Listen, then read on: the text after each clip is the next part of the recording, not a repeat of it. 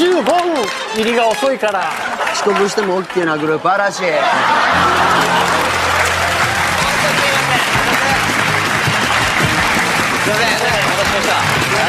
いいよ全然。いいよ全然。全然。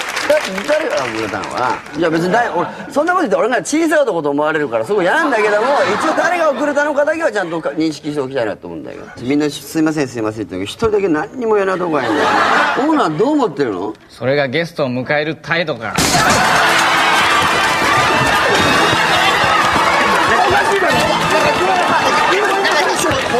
今のおかしい今のおかしいだろ。すいません本当に今のおかしいだろ本当にすいません。今のおかしいです。ね今のおかしい。じゃあどうすんの？このおかしいのどうすんの？いや僕たちが。ね